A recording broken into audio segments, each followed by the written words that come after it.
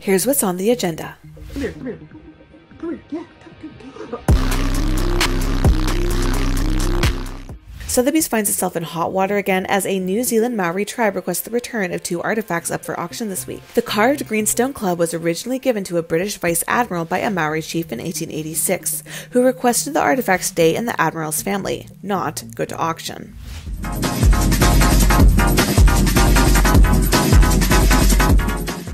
Belgium's Royal Museums of Fine Arts director Michel Draguet is accused of making sexist and homophobic remarks to and about his staff.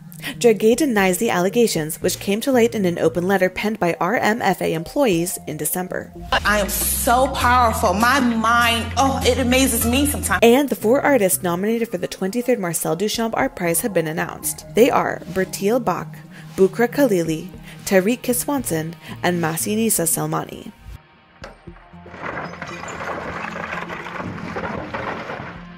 Finally, a monument to Dr. Martin Luther King and his wife, Coretta Scott, was unveiled in Boston. American artist Hank Willis Thomas designed the monument, titled The Embrace, to memorialize a public hug between the Kings after the activist won the Nobel Peace Prize in 1964. However, people on Twitter are seeing something very different in the 20 foot tall, 40 foot wide sculpture.